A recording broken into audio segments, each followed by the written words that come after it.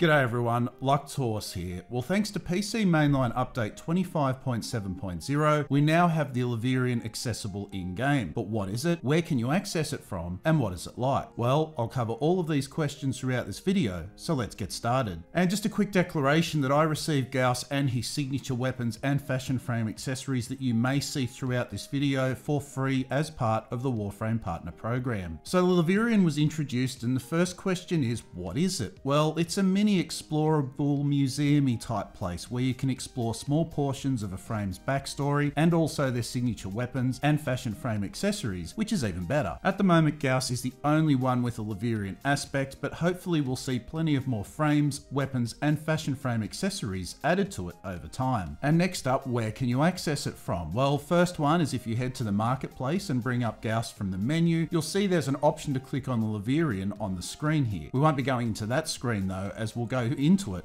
via the codex menu instead. So you'll need to head to your codex and then navigate your way to your Warframe info menu and either select Gauss via the on-screen item or search for him and you'll get a screen up and there will be the Leverian option again. Click on it and it's time to go for a trip to a futuristic museum of sorts. And now we're at the what's the Leverian like bit of the video and I'll leave it to the video for this part.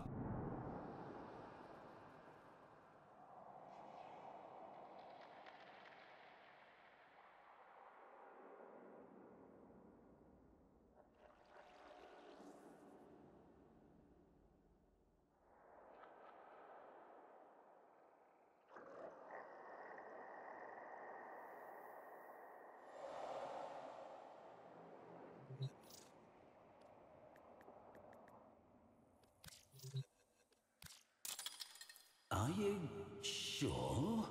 My sincerest thanks.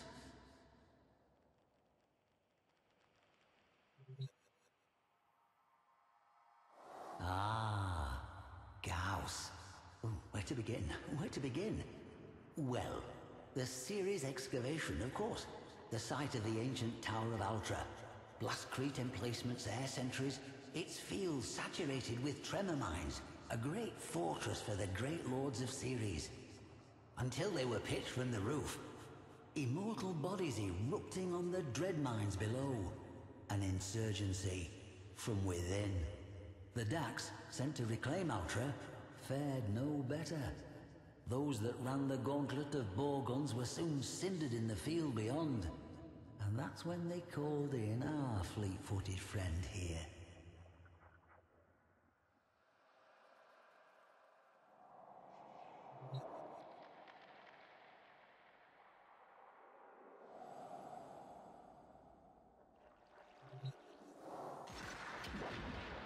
Dual sidearms pull from Ultra's outer ring of Blastcrete bunkers. Something crashed through those bunkers at great speed. The impact scattering stone and flesh all the same. An unearthly kinetic shockwave. Those insurgents with the misfortune of surviving the initial blast must have seen the Akarius for themselves.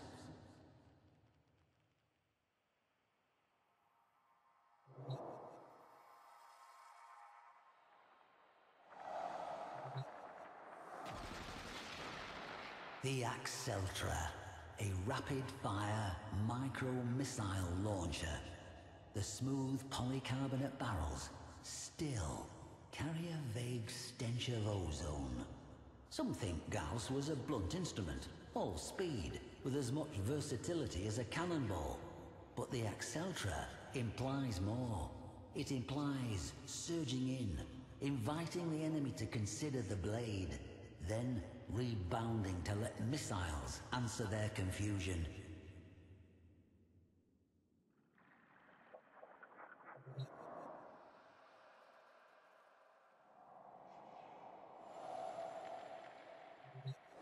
Not the standard dress helm.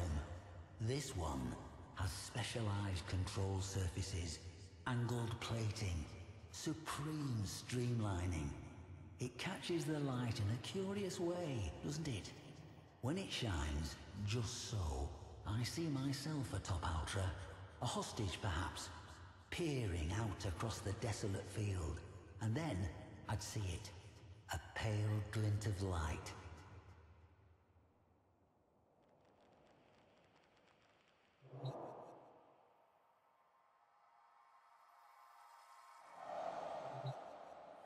Dax of the day had a saying, that which cannot be hit cannot be killed. I can only imagine what they thought when they saw Gauss that day. A gleaming bullet. This Syandana, pinned rigid, like a flag in a maelstrom, streaking toward Ultra.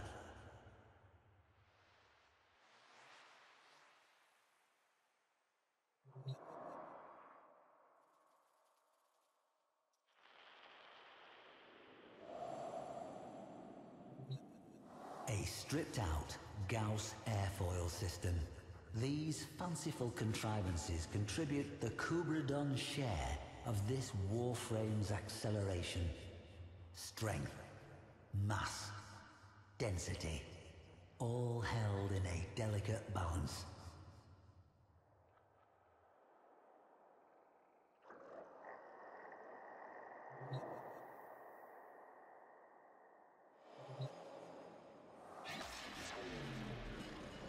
Gauss. Front edge. Smooth.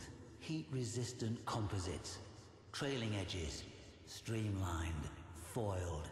This particular one vaguely warped by extreme heat stress. The Saint of Ultra. If the mind wanders, what do you see? I see a vivid, lord-like festival. The tremor mines bursting in a blinding wave, rising toward Ultra. And Gauss, a smear of light, just ahead of the thermal avalanche, fast as fire. No, faster.